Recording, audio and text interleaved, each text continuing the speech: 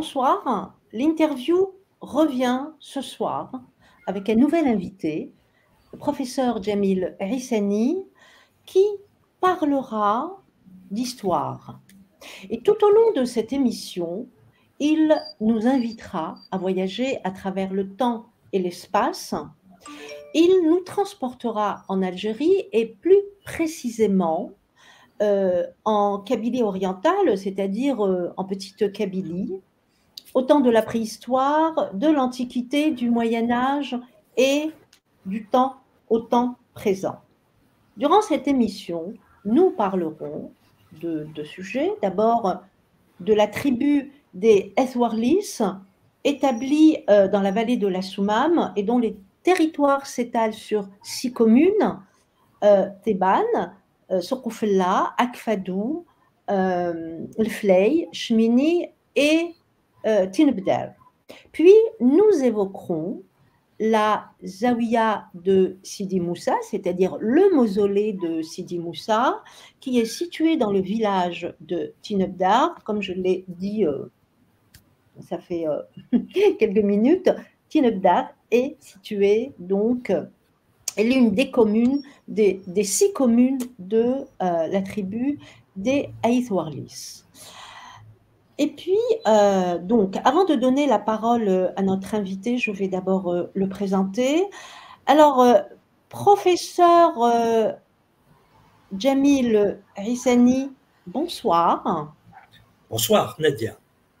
Et merci d'avoir accepté mon invitation. Et donc, je vais d'abord vous présenter. Alors, j'ai essayé, vous avez un parcours très dense, très riche, hétéroclite, et j'ai essayé de résumer, j'ai essayé de donner ce qui, de mon point de vue, était essentiel. Euh, alors ça, c'est mon point de vue. Et celles et ceux qui souhaitent en fait en savoir plus, euh, je les renvoie euh, sur le site de GIMAB. Alors, professeur Aïssani, vous êtes professeur donc de mathématiques à l'université de Béjaïa et euh, vous êtes directeur de l'unité de recherche LAMOS, euh, qui signifie modélisation et optimisation des systèmes, et je pense qu'on est dans le champ des mathématiques. Vous êtes également président de la société savante GIMAB euh, de Béjaïa, qui signifie groupe d'études sur l'histoire des mathématiques à bougie médiévale. Et vous étiez déjà passé euh, sur le plateau de Alternaculture euh, pour présenter, justement, nous avons consacré toute une émission à GIMAB. Et donc, GIMAB est une association qui, a été fondée en 1991 et c'est une association à but non lucratif. Et son objectif, et je, cite une plaquette de, de, euh, votre site, hein, de GIMAB, son objectif est de contribuer à l'exhumation des témoignages sur les activités scientifiques de Béjaïa et au Maghreb de l'époque médiévale au XIXe siècle. Et puis, vous êtes directeur de recherche au Centre national de recherche préhistorique, anthropologique et historique euh, Alger. Et en plus de toutes ces fonctions, vous êtes l'auteur de plus de 900, alors j'ai lu ça, de 900 travaux scientifiques publiés dans une douzaine de langues. Et vous êtes également l'auteur de plusieurs ouvrages. Et vous avez été commissaire d'une vingtaine d'expositions spécialisées. Vous avez œuvré à la protection, à la restauration et à la mise en valeur des sites, des monuments euh, historique de Béjaïa et de, de sa région d'ailleurs, puisque tout à l'heure nous parlerons, euh, nous évoquerons, nous parlerons du musée euh, des et vous avez également lancé le projet du centre de documentation sur l'histoire de Béjaïa. Et euh, voilà, donc j'ai repris ce qui me semblait très très important. Le, ne veux pas dire que le reste n'est pas important, mais en tous les cas, si des auditrices et des auditeurs veulent en savoir plus sur le parcours du professeur euh, Jamil Rissani, n'hésitez pas à aller sur Google et taper GIMAB et vous aurez tout son parcours. Euh, Est-ce que vous voulez rajouter quelque chose, euh, professeur, hein, quelque chose que vous aimeriez mettre en évidence, en lumière de votre parcours? Bon, par rapport au sujet qui nous intéresse aujourd'hui. On va revenir, oui, oui. Oui, je vous en prie. Je, suis, je suis, originaire de cette région, donc des États-Unis, n'est-ce pas? Et concernant donc l'intitulé que vous avez mis en place, c'est-à-dire la, vous voyez bien, c'est la Zawiya de Sidi Moussa, à ne pas confondre avec le mausolée de Sidi Moussa. C'est deux choses différentes. À l'intérieur de la Zawiya, il y a effectivement le mausolée de, Sidi Moussa. Mais euh, Et euh, je suis ici euh, avec vous parce que depuis une vingtaine d'années, avec un, un, ensemble de, de, personnes, j'ai travaillé sur ce sujet. Voilà. Oui, oui, oui. alors, peut-être que ce qui m'intéresserait, alors il y a deux choses que je dirais. D'abord, cette émission, effectivement, vous dites que vous êtes de cette région, euh, je vais parler de moi. Moi aussi, je suis de, cette région et euh, je suis plus précisément euh, originaire du village de Tinebdar. Justement, mon père est originaire de Tinebdar et euh, ça fait très très longtemps que mon père me demande de, d'écrire un article sur Sidi Moussa, etc. Et je l'ai jamais fait. Et il est mort cet été. C'est un petit peu un retour aux sources et c'est un hommage je voudrais lui rendre merci. Alors, euh, donc ça, c'est tout ce qui est subjectif. Et euh, alors, oui, alors, est-ce que vous pouvez juste, on va faire un petit point sémantique. Quelle est la différence entre la zawiya et le mausolée? Parce que moi, j'ai toujours cru que euh, le mausolée était, enfin, la zawiya en français, c'était le mausolée. Est-ce que vous pouvez juste faire un point? D'accord, très, bien. Sans entrer dans les détails, il y a, j'ai publié un article dans cette revue que je vous montre ici et qui s'appelle Libica. Qui s'appelle Libica. Cet article s'intitule Mille ans de pensée soufie en Kabylie. Mille ans de pensée soufie, vous entendez? Oui, oui, je vous écoute. Hein. Mille ans de pensée soufie en Kabylie. Et donc, quand on aborde ce type de questions, il faut faire très attention de ne pas mélanger euh, la religion, euh, les toroks, c'est-à-dire les confréries, les zaouïas. Les zaouïas, donc c'est euh, d'ailleurs quand on parle de zaouïa, il y a plusieurs types de zaouïa. Il y a la zaouïa école, il y a la zaouïa mosquée, il y a la zaouïa institut, qui sont des institutions dans lesquelles ont été réalisées des activités scientifiques. Et donc, ce qu'on appelle le mausolée, c'est le, le, là où est enterré un wali, c'est-à-dire un saint. Et donc Sidi Moussa est considéré comme étant un saint euh, qui a vécu au 14-15e siècle et sa tombe se trouve à l'intérieur de la zawiya de Sidi Moussa Voilà. C'est ça. Merci pour, euh, euh, ce point sémantique. Alors, on va commencer par la, tribu des. Euh, alors, parmi les travaux scientifiques réalisés par euh, GIMAB, euh, figurent ceux consacrés à la tribu des Aitwarlis. Alors, d'emblée, je vais vous poser deux questions. qui sont les Aitwarlis et que signifie le nom de cette tribu Donc là, on va rentrer dans l'histoire. Très bien. Alors, pour la première question, euh, les Etourlis est une tribu de euh, la région de Sidi euh, elle est entourée d'un certain nombre de tribus qui sont la tribu des Et Mansour à l'Akfadou, la tribu des Ammar du côté d'Adkar, les Tifra, les Ifnayen du côté d'El-Maten, les Atimel et euh, du côté de Timzrit et Djlil plus haut, les Imsisen du côté de euh, Sedouk avec les Et ensuite les Ouzleg du côté de, Toutes ces tribus euh, ont des rapports très particuliers depuis euh, le, la nuit des temps. Depuis la nuit des temps, euh, il faut savoir que à l'époque préhistorique, nous avons des informations, pas directement du côté de Sidiège, mais il y a à Geldaman, dans la commune de Bouhamza, un site préhistorique qui, est,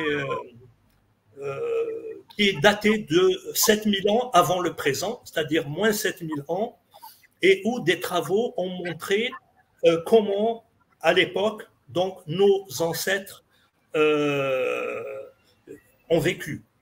Donc, euh, les travaux archéologiques qui ont été faits là-bas montrent comment, à quelle période donc nous avons été des, des, chasseurs, quand est-ce qu'on a commencé à être des éleveurs, quand est-ce qu'on s'est intéressé à, l'agriculture. Ensuite, il y a la période euh, antique. La différence entre la période préhistorique et la période antique, c'est la découverte de l'écriture. Et euh, nous avons découvert ces dernières années euh, sur le territoire donc, des Etourlis un certain nombre de styles libico-berbères. C'est le cas donc à Meloussa, près de Tinebdar, avec la fameuse stèle libico-berbère qui a été découverte donc en 1968. C'est le cas également en 2009 à euh, Smaoun, du côté de Choumini, de la fameuse stèle qui est du même type que Abizar, avec des euh, textes écrits en euh, tifinagh. Et donc, le fait d'avoir découvert ces stèles nous donne des informations ici aussi sur la manière dont ont vécu nos ancêtres à cette période. Ensuite, il y a la période romaine.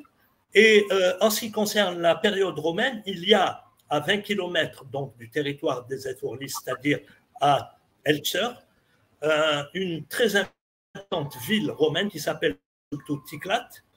Et une partie donc, de cette ville se trouve sur le territoire des Ifnaïens, puisqu'il y a la fameuse citerne de l'Ariwa et les, et les aqueducs qui va du côté donc de, et un autre qui va du côté des Djilil. Et nous avons des, euh, vestiges romains dans euh, plusieurs endroits sur le territoire des Etourlis. C'est le cas d'Elfly ou bien de, euh, comment dirais-je, de Telwakade. Voilà.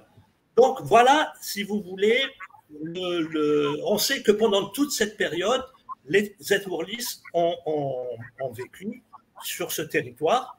Maintenant, en ce qui concerne le, nom des Etourlis, c'est-à-dire pourquoi Warlis, euh, franchement, je ne le sais pas. Il n'y a pas euh, d'informations concernant l'origine de ce nom. Il y a bien sûr euh, des personnes qui ont fait des, qui ont fait des, comment dirais-je, et on fait des euh, suppositions, mais il n'y a aucune source qui montre euh, que ce soit du point de vue de l'oralité ou bien, bien sûr, des, euh, des inscriptions, il n'y a aucune information concernant le nom Wallis. Alors, en principe, j'ai pour habitude de laisser les questions en deuxième partie parce que là, il y a quelques questions et on, va y répondre tout à l'heure. Et euh, alors, celles qui font, qui sont d'actualité, c'est-à-dire celles qui sont en lien direct avec euh, le sujet qu'on traite euh, là, je les pose. Donc là, il y a RS qui demande Warlis ou Ait Warlis Et quelqu'un d'autre a fait apparaître les Beni Warlis. Est-ce que vous pouvez nous expliquer la distinction entre F, Ait et Beni alors, Ethurlis, c'est en Kabyle. Quand on parle des, de, ceux, qui appartiennent à la tribu, donc on dit Ethurlis. Euh, ça donne en français Eitourlis. Et pendant la colonisation, donc euh, les euh, orientalistes ont privilégié la, dénomination Beni hein. Mais c'est la même chose. Alors, et alors, on a dit trois F, Aït et euh, Beni. les, oui, oui, béni, c'est bon. Euh, Haït et Haïs, quelle, quelle, est la différence? Haït Je vous ai dit que c'est la même chose. S, c'est en, berbère. Quand on parle de la tribu, on dit en berbère. Ça, j'ai compris. Et Haït, ça, a été francisé. D'accord. Ça a été francisé. Voilà. donc euh, RS, je pense que vous avez, euh, vous avez votre réponse. On va poursuivre. Il y a, y, y a, pas mal d'interventions. Hein. Euh, apparemment, c'est un sujet qui intéresse. Alors, euh, euh, professeur Rissani, donc vous avez parlé de, la période d'Antiquité, etc. Moi, je voudrais lire un témoignage de 1847 que j'ai repris hein, de, du site GIMAB, dans lequel j'encourage les auditrices et les auditeurs à aller sur le site parce qu'il est vraiment très, très, très riche. Très, vraiment très riche. Alors, je vais lire euh, ce petit euh, témoignage et puis je vais vous demander, je vous demanderai de le commenter. Alors, c'est un témoignage, alors je n'ai pas trouvé le nom, mais en tous les cas, donc il date de 1847, mais je pense que vous savez de quel auteur il s'agit. Et voilà donc ce qu'il dit. La tribu des Bni Warlis est une des plus riches et des plus fortes euh, de, la, de la vallée de la Soumam. son territoire s'étend du pied de la montagne de la Kfadou jusqu'au-delà de l'Oued Soumam. Ensuite, elle peut mettre sous les armes 2500 fantassins. Alors, les fantassins, ce sont euh, les soldats de l'infanterie, c'est ceux qui combattent à pied. Alors, est-ce que vous pouvez nous, euh, bah, il y a une admiration en tous les cas de, qui, euh, apparaît dans ce, dans ce petit paragraphe. Est-ce que vous pouvez le commenter, s'il vous plaît? Oui. ce texte euh, a été euh, produit par un colon de la première heure. C'est l'un des premiers qui a accompagné donc les colonisateurs et euh, qui a produit un ouvrage où il, il parle de toutes les tribus de la vallée de la Soumam. Et effectivement, la tribu des Ethourlis est l'une des plus importantes avec celle des Etabes on, oui, oui, oui. Euh, vous continuez? Oui, parce que la question que je vais poser a un lien avec ça, justement. Donc, Alors, euh, il y a également un autre témoignage qui est, euh, à mon avis, très important, qui a été fait par Auguste Veller. Auguste Veller est le premier instituteur qui, français à Sidi Et en 1988, il a écrit un, comment dirais-je, un texte sur la commune, monographie de la commune mixte de Sidiège, que je montre ici et que nous avons édité, oui, oui. Nous avons édité avec Judith Schill, qui était à l'époque euh, doctorante à l'université d'Oxford. Et dans ce texte de Auguste Weller, il parle il parle des habitants, donc de la, euh, de la, de la région, et regardez ce qu'il dit. C'est là pour avoir une idée de son euh, opinion.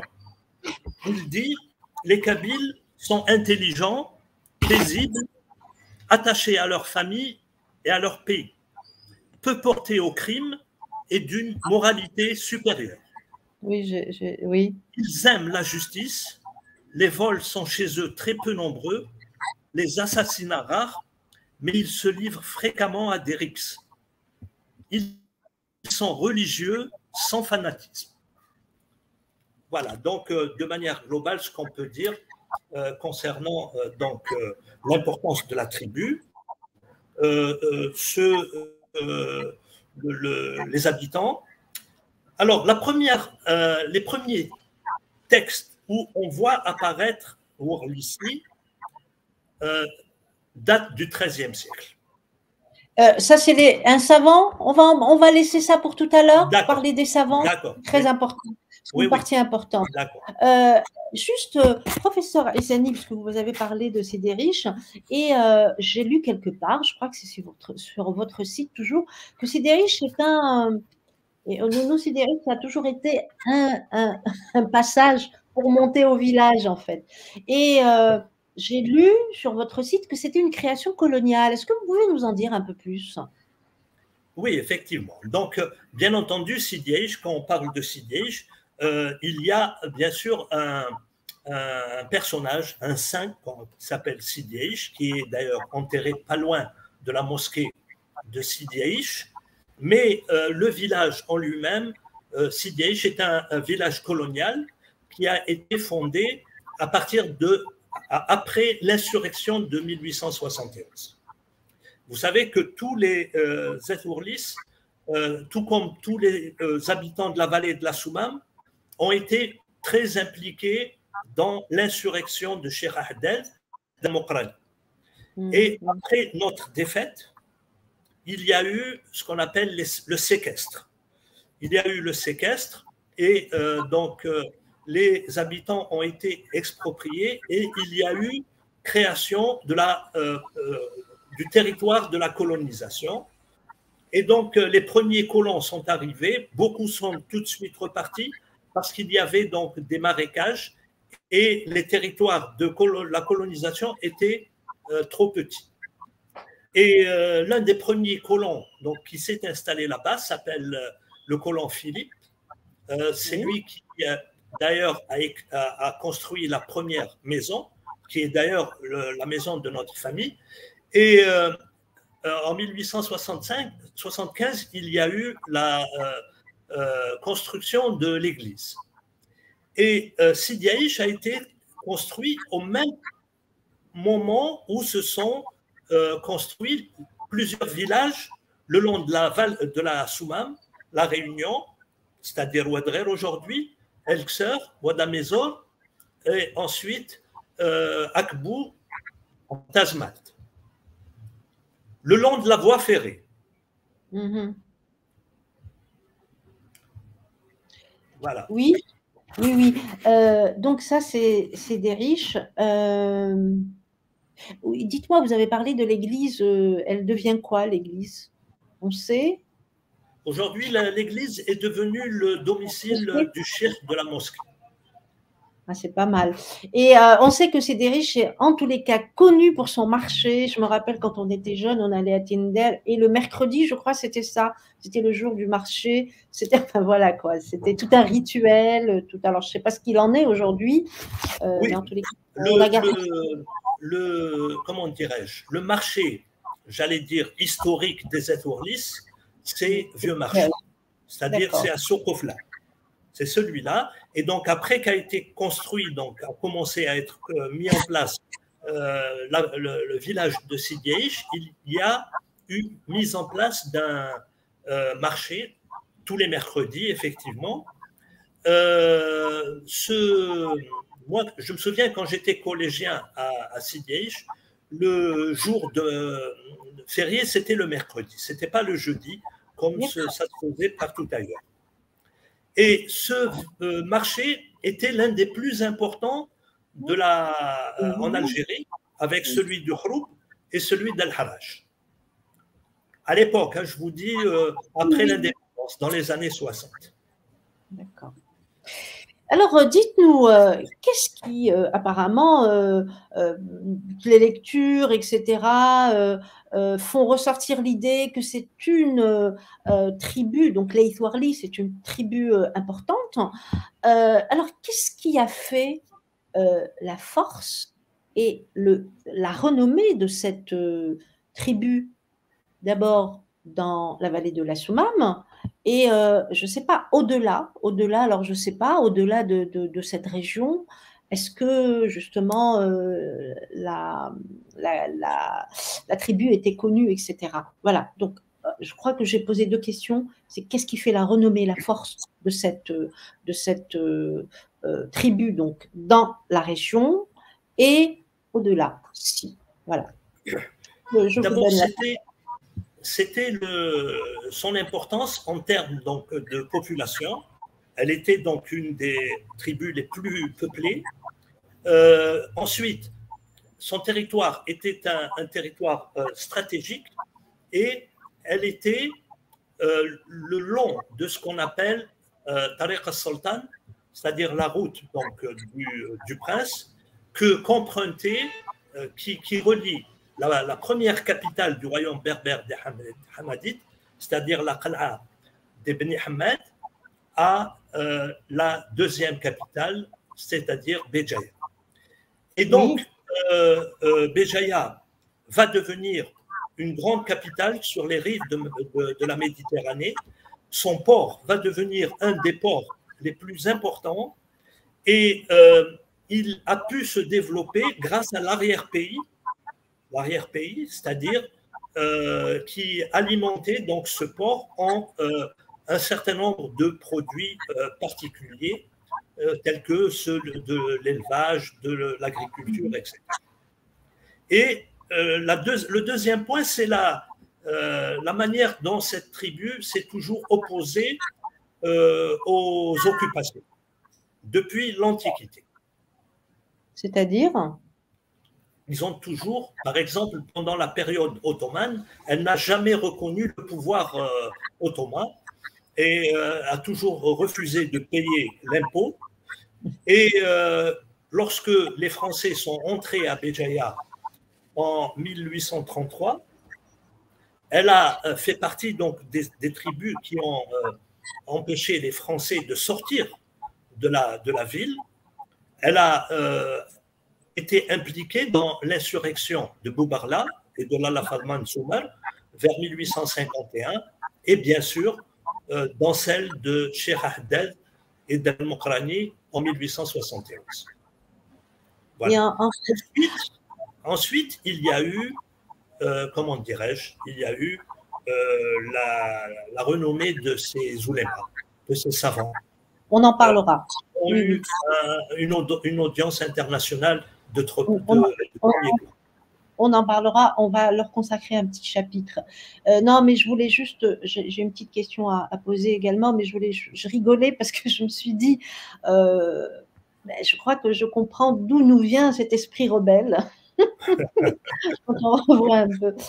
Euh, alors, justement, renommé également pour ses savoir-faire. Alors moi, je ne sais pas, quelqu'un un jour a dit, j'ai entendu quelqu'un dire, un Atwarlis, que ce soit homme ou femme, euh, c'est des personnes qui sont capables de faire deux choses en même temps, qui ne perdent pas leur temps, par exemple. Voilà, qui exploitent, ils sont capables d'aller euh, voir un spectacle et durant le spectacle, eh ben, ils vont, euh, ils vont, ben, ils vont faire des, travaux manuels, etc.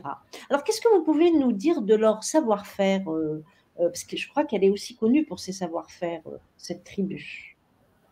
Cette histoire-là de faire deux choses en même temps, c'est beaucoup plus euh, euh, propre aux femmes. Hein, par exemple, quand elles font la vaisselle, elles, elles, peuvent écouter la télévision ou bien. ça, c'est rien, ça. Euh, les savoir-faire, vous savez, il y avait, par exemple, dans le domaine de l'agriculture, il y avait un savoir-faire dans le domaine de la, comment dirais-je, de la, culture, par exemple euh, agricole, euh, l'olivier, le figuier, etc.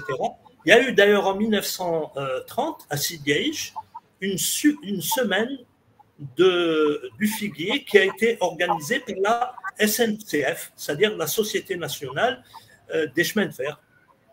Mmh. Voilà. Donc, il y avait donc euh, des produits euh, de la région de Sidich qui étaient renommés et qui se vendaient un peu partout. Je me souviens d'ailleurs qu'un de mes grands-oncles avait une collection qui était euh, négociant, avait une collection de timbres de, dizaines de pays qu'il, comment dirais-je, qu'il, avait constitué à partir donc des commandes qu'on lui faisait d'un peu partout y compris d'Israël, donc avant, avant l'indépendance. D'accord, merci. Euh, on va poursuivre à présent avec, euh, avec les, justement les intellectuels. Donc, euh, la tribu de d'Aïs Warlis est aussi connue pour ses intellectuels. Alors, je vais vous demander de nous dire qui sont, en tous les cas, les plus éminents parmi ces intellectuels et quelles sont leurs réalisations. Voilà, à vous la parole. Très bien. Donc, euh, nous sommes euh, pendant la période des Hamadites, c'est-à-dire après le XIe siècle. Béjaïa devient une grande capitale sur les rives de la Méditerranée. Elle était euh, un centre d'enseignement supérieur. Il y avait à Béjaïa plusieurs institutions de premier plan, telles que Medinat al-Ilm, telles que Beit al-Hikmah, telles que la grande mosquée, le Masjid al-Azam, etc. Et des savants de premier plan y ont vécu et travaillé. Et parmi ceux, ces savants venaient de plusieurs régions du monde, de l'Andalousie, bien sûr, euh, d'Iran, euh, de, bien sûr d'Égypte, mais également d'Andalousie, du Maroc, euh, de Tunisie, et également de Kabylie, d'Algérie, de Tunis et de Kabylie. Parmi donc les savants donc les plus renommés de la région donc de Kabylie, il y avait les Etourdis. Il y en avait d'autres, par exemple, Ezrobri également, donc était euh, bien euh, représenté. Il y avait les Meshdelli, qui sont originaires de Meshdella, donc du côté de Bouira. Mais si vous voulez, ceux qui ont euh, au début marqué donc, le, milieu intellectuel, il y a eu au XIIIe siècle un savant qui s'appelle Mohamed Ibrahim El-Warlisi. Donc vous voyez, le mot al-Warlisi ou bien Aourlis apparaît au XIIIe siècle dans les documents. Dans les documents, euh, ce savant est cité, une notice développée, hein, se trouve donc dans l'ouvrage biobibliographique d'El-Robrini, Unwan Diraya Fimcher Jaya, et il parle de savant qui apparaît de manière précise dans la structuration du milieu scientifique de Béjaïa, où on voit qu'il avait des contacts avec ceux qu'on appelle les princes de la science. Les princes de la science, c'est Sidi Boumdien, Abdelhaq al-Ishbili et Abu Hamid al-Sarer. Abdelhaq al-Ishbili, qui est euh, andalou, et Abu Hamid al-Sarer, qui est originaire de Msila. Et donc, il avait des contacts avec eux, et également, il est à l'origine de, la création d'un groupe de savants très importants qui avaient pour centre Ibn Rabia et qui s'est intéressé à plusieurs domaines, notamment donc à la jurisprudence et euh, aux mathématiques. Donc il était spécialisé en littérature et en jurisprudence et il avait également des contacts avec le, pouvoir euh, hamadite, c'est-à-dire qu'il avait des contacts avec les princes, ce qui lui permettait de régler les problèmes que rencontraient les populations au niveau de, des ourlis, par exemple, mhm. pour avoir un laissez-passer ou bien pour euh, d'autres, euh, euh, d'autres problèmes particuliers. Donc celui-là, c'est le premier qui apparaît au tout début, au XIIIe siècle. Mais le plus célèbre et le plus important s'appelle Abdelrahman Aourlis, Mm. qui est mort en 1384. Oui. Euh, il est célèbre pour euh, deux choses. D'abord, il était mufti et il était Sheikh al-Jama'a euh, à Béjaïa. À Telefegout, il y a son mausolée. Et ici, à Béjaïa, il y a les vestiges de sa zawiya. Et il est célèbre pour deux choses. Oui. D'abord, il est célèbre pour son livre de euh, jurisprudence, de fiqh, qui s'appelle Al-Muqaddima fil fiqh, plus connu sous le nom d'Al-Warlisiya, qui est devenu très célèbre et qui, va, rester pendant des siècles un ouvrage de référence.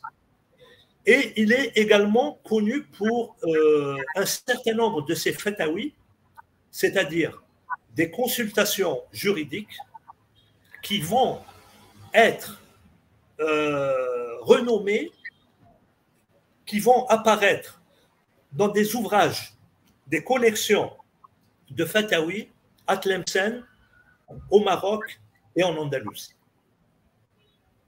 Voilà.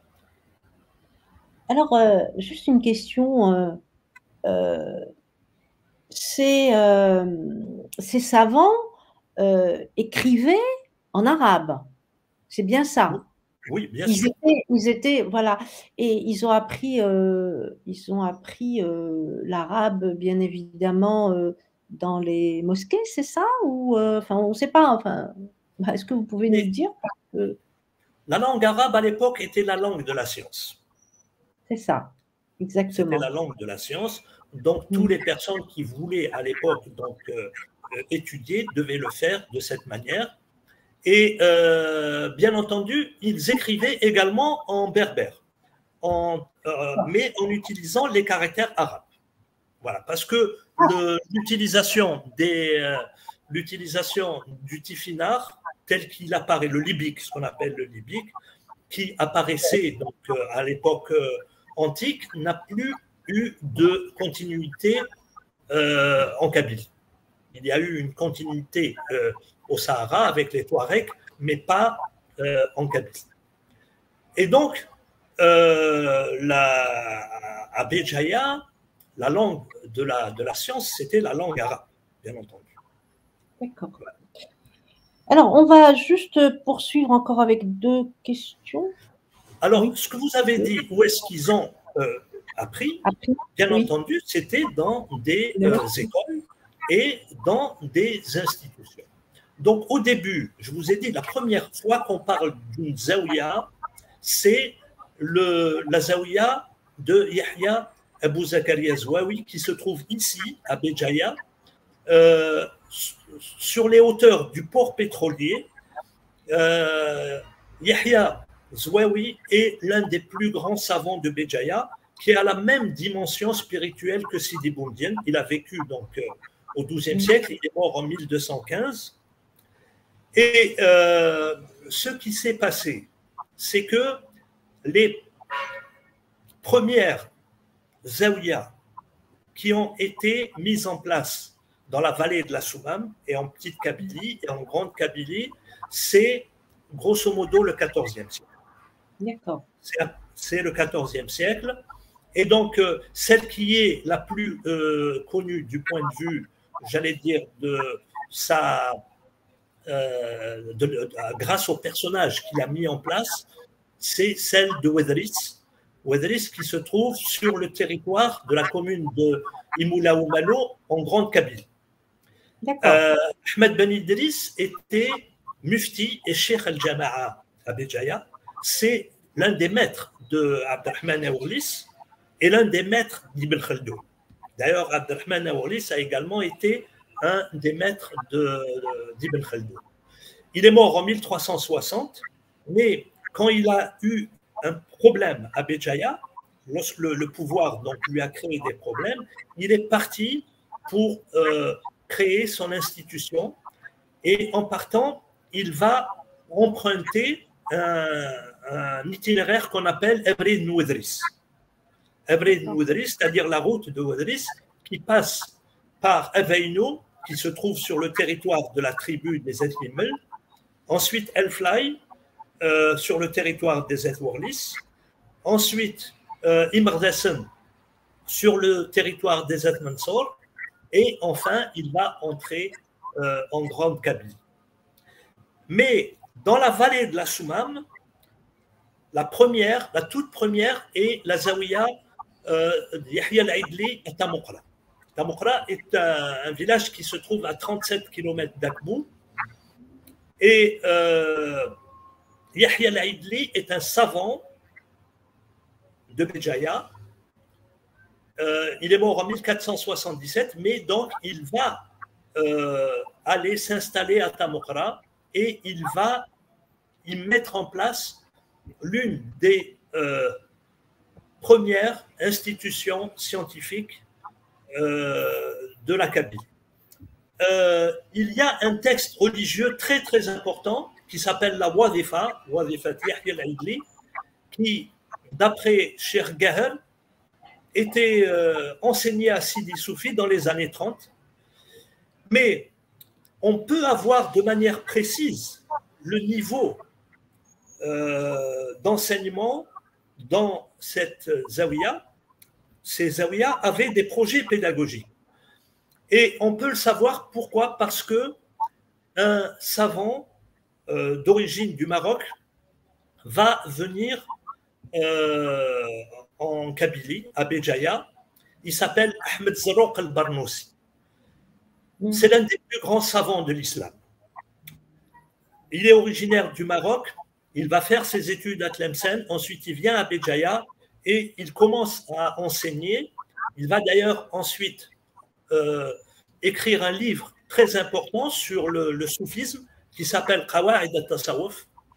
Et. Yahya va l'inviter à Tamokra et il va y aller et Yahya al va lui demander de commenter, c'est-à-dire de faire un sharh, le traité de fiqh de Abdelrahman Aouris. Et il va faire ce sharh d'une manière particulière. Parce que Yahya, euh, Ahmed Zarouk al-Barnoussi était certes un soufi, soufi savant, mais il avait une doctrine, c'était pas de soufisme sans respect du droit. Merci. Euh, je vais vous demander, avant de poursuivre, euh, d'allumer une lumière parce qu'on ne vous voit pas beaucoup, c'est obscur. Et ça vous rend service. Ça ne rend pas service du tout. On va faire une petite pause, allumer, comme ça, vous serez illuminé, en plus de votre parole. Euh, alors, c'est très intéressant parce qu'il y a beaucoup de, commentaires, il y a beaucoup de questions. Euh, ne vous inquiétez pas, nous répondrons à vos questions dans la deuxième partie. On va d'abord finir la première partie, donc euh, on va faire notre émission et ensuite vous pourrez avoir la parole. Alors, on va terminer avec les eight Worldies, qu'on avance. alors, j'ai une question est, quel est, euh, non, que reste-t-il? En fait, j'en avais deux, mais je vais en poser qu'une seule. Euh, que reste-t-il des réalisations de ces savants euh, de nos jours? Moi, on n'entend pas parler. Hein, c'est grâce à vos travaux. Qu'on peut avoir comme ça en retour hein, sur les traces, etc. Mais c'est vrai qu'on n'en parle pas. Et est-ce que vous pouvez nous dire qu'est-ce qu'il qu'est-ce, qu'il reste de, ces, de, des réalisations de ces savants aujourd'hui? À vous la parole. Très bien. Donc, en, 2004, euh, nous avons organisé un colloque international sur euh, le savant, donc Abdelrahman et Orlis. Trois jours, notamment donc deux, deux, jours à Béjaïa, un jour à euh, Tinebdar, et euh, nous avons euh, édité, donc le, son livre de, jurisprudence est édité. Ces fataouis ont été, euh, comment dirais-je, répertoriés. Vous pouvez nous dire ce que c'est que les fataouis, s'il vous plaît? Comment? Les fataouis, juste pour que tout le monde comprenne. C'est quoi les, fataouis? C'est des consultations juridiques. C'est des consultations juridiques, c'est-à-dire que vous avez quelqu'un. tout à l'heure, on a parlé du marché de Sidiège. Hmm. À l'époque, dans les années 30-40, euh, il y avait dans ce marché tous les mercredis un, euh, une, euh, comment est-ce qu'on appelle ça? Une, une rencontre des, des, des chirs de la, de la région qui se, qui se rencontraient là-bas Parmi eux, d'ailleurs, il y avait euh, le chef de Sidi Moussa, on va en parler tout à l'heure. Et donc, tous les mercredis, ils se euh, réunissaient et il y avait des gens qui venaient et qui posaient des questions concernant euh, des problèmes auxquels ils voudraient aujourd'hui que l'on puisse répondre. Et donc, ces consultations juridiques sont encore aujourd'hui d'actualité je vous ai dit, certaines donc euh, ont été, euh, comment dirais-je, répertoriées.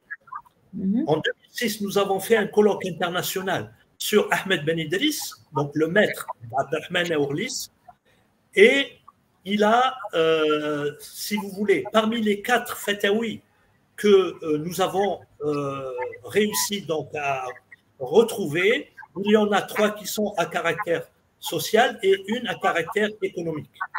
Et il y a un, Allemand qui s'appelle Tilman Hanman, euh, qui est venu à ce colloque et qui a, euh, il avait fait sa thèse de doctorat pour analyser le contenu de la fatawi à caractère économique de euh, Ahmed Ben Idriss.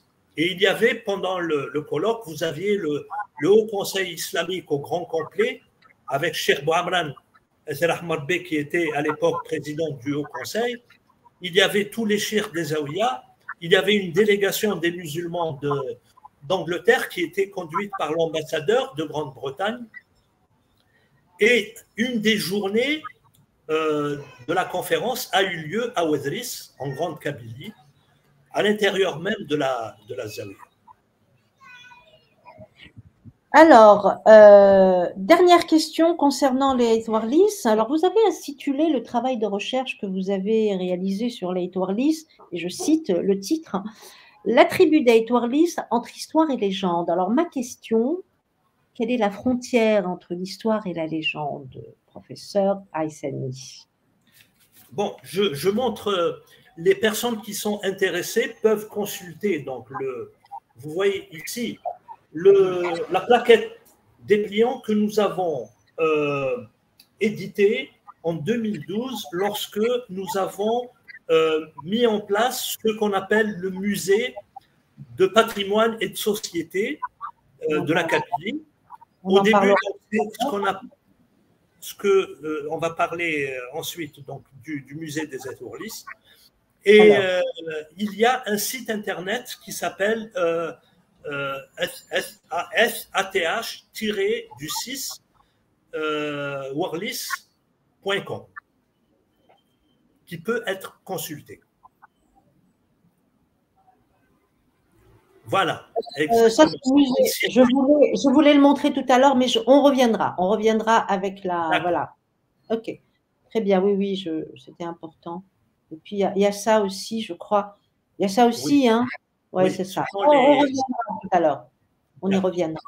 Donc, légende et histoire. La frontière.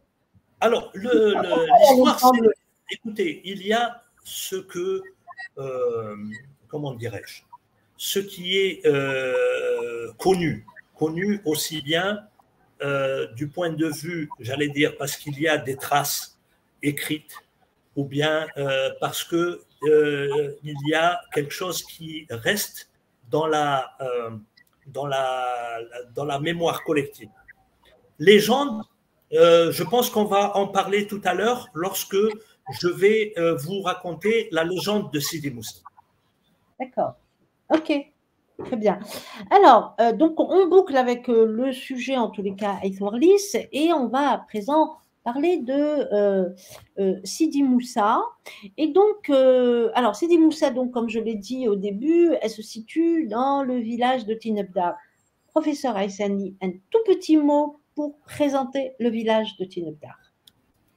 Alors, Tinebdar, il faut, c'est un très beau village qui se trouve sur le territoire des Ethnolis. Aujourd'hui, aujourd'hui, c'est une commune euh, alors, dans le texte de euh, Auguste Weller, il y a des chiffres euh, qui datent de 1886 pour que vous ayez juste une idée. Hein. une idée, vous avez le village le plus important donc, de, des Etourlis, c'est Elfly. Elfly, à l'époque, il y avait 357 ménages et 1406 habitants. Ça, c'était, à Elfly. Alors, à ce moment-là, à Tinebdar, il y avait 121 ménages et 533 habitants. Le, livre de Veller donne tous les détails de tous les villages de la région de tout, euh, quand je parle de la région de Sidiège, c'est l'ex-commune euh, mixte de la vallée de la Soumam ou bien la, commune de Sidièche, dont le centre, le chef-lieu, c'était Sidièche, euh, l'actuel Daïra. Et euh, il y avait son territoire allait jusqu'aux quatre chemins ici à Béjaïa, jusqu'à Benixila, jusqu'à il, il englobait toute cette, toute cette région. Et du côté de Tinebdar, donc il y avait Tinebdar, j'ai dit 121 ménages, 503 habitants, Tirzratin, 62 et 206 habitants. Vermetho, 93 et 356 habitants. Ihramar, 66 et 282 habitants. Euh, 97 et 288 habitants. Telefegut, 54 et 233 habitants. Donc, vous voyez, aujourd'hui, on a euh, tendance à euh, regrouper tous ces villages parce que, effectivement, maintenant, le, village s'est étendu. Il y a eu construction euh, du siège de la commune en bas, à Erligen, à côté de l'école d'Erligen, la bibliothèque en face. Mais de, manière, globale, voilà ce qu'était euh, Tinebdar en 1888. Alors, Sidi Moussa. Et donc, euh, la Zawiya de Sidi Moussa, il me semble qu'elle a été, qu'elle a été donc fondée aux environs du XIVe siècle. C'est ça, 14e, 15e siècle, oui. Alors, euh, et elle, euh, elle fait partie des quatre zawiyas historiques des Et, euh, Apparemment, il y en a quatre. Alors, question. qui sont les fondateurs de... Racontez-nous l'histoire de ce mausolée, de, cette zawiya. Voilà, je vais vous poser la question comme ça. et puis, c'est vrai, Sidi Moussa, est-ce que vous pouvez nous dire qui est Sidi Moussa, etc. Donc, racontez-nous l'histoire. Euh, l'histoire, euh, bien sûr, euh, la réalité, et puis la légende également. Donc, je vous donne la parole. Alors, il y a effectivement sur le territoire de, des Etourlis quatre zawiyas historiques. Ces quatre zawiyas historiques sont Sidi Moussa, donc à Tinebdar, mmh. Sidi Yahya ou Moussa, donc dans la, commune de Cheminée, à Smaoun, euh, comment dirais-je C'est dans le village de Sidi Yahya. Sidi Yahya, oui, Sidi Yahya, mais dans la commune donc, de, de, oui, oui. Euh, le, le, attendez, je retrouve pas le, le, nom de celle qui se trouve à Vieux Marché, à euh, comment dirais-je, à Vieux Marché, c'est-à-dire à, ce qu'on appelle aujourd'hui Sokofla, voilà, les quatre zaouïas historiques, c'est Yahya Moussa, donc du village de même, c'est El Hajj Hussein, donc à Smaoun, et Izroqan. Izroqan qui se trouve à Sokoufla. Cette zaouïa, elle est affiliée à le, le grand savant dont j'ai parlé tout à l'heure, Ahmed Zarouk al-Barnoussi. C'est l'un des descendants qui s'est installé là-bas. Donc, ces quatre zaouïas, ce sont les quatre zaouïas historiques. À l'époque, il y avait, à l'époque, moi je vous dis, donc euh, autour de 1888, il y avait également sur le territoire donc, des euh, il y avait également 60 euh, mosquées et 18 euh, écoles coraniques. Voilà. Donc vous voyez que le territoire des Etourlis était maillé par des écoles, mais les, les c'est-à-dire les, ce sont des institutions euh, prestigieuses dans lesquelles, donc, non seulement on apprenait le Coran, elles servaient bien sûr pour des raisons sociales, mais surtout, euh, il y avait des activités scientifiques de premier plan qui se sont déroulées dedans. Alors, les quatre zaouïas historiques des Etourlis étaient indépendantes. Qu'est-ce que ça veut dire? Ça veut dire qu'elle n'appartenait à aucun ordre, à aucune confrérie. Vous savez que le début des confréries, c'est, euh, disons, le XVIe siècle. Les plus connus, c'est, euh, par exemple, la, euh, comment dirais-je? Jania, la... Il y avait la, bon, il y avait la, la Qadiria, c'était beaucoup plus la, Qadiria. Oui, oui. dans la ville de Béjaïa, elles étaient toutes présentes c'est-à-dire la Qadiriya, la Taïbiya, la Amariya, la Issaouiya, euh, la, et ensuite, quand au XVIIIe siècle va être créée la, Rahmaniya, grâce à euh, Sidi Abdelrahman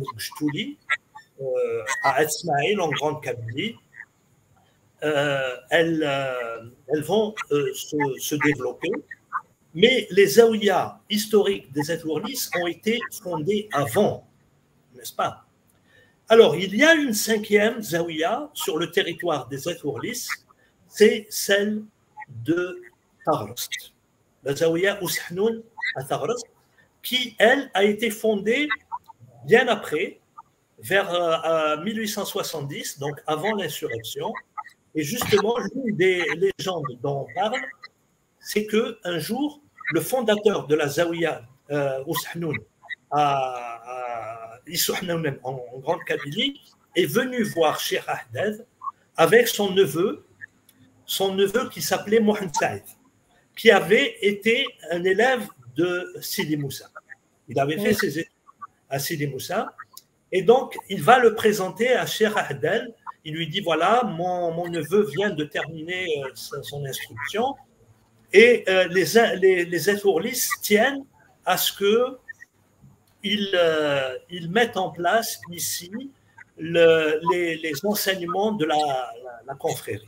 Ce qu'on appelle une confrérie, c'est une tariqa, c'est un ordre euh, religieux. Et les Juan, les Juan, donc, ce sont ceux qui adhèrent à cette, comment dirais à cet ordre-là. Et la mhm.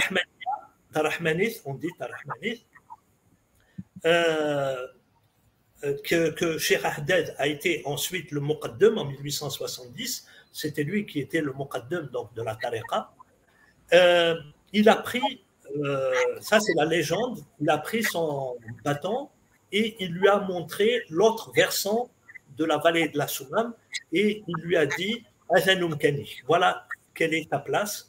Et c'est ainsi que va être construit cette Zawiya Oushnoun à Taghrost, qui est un très bel édifice. Dommage qu'il est maintenant, bien sûr, euh, la Zaouia a été fermée dans les années 70, à l'époque là du, socialisme, parce que euh, on a euh, nationalisé ces terres.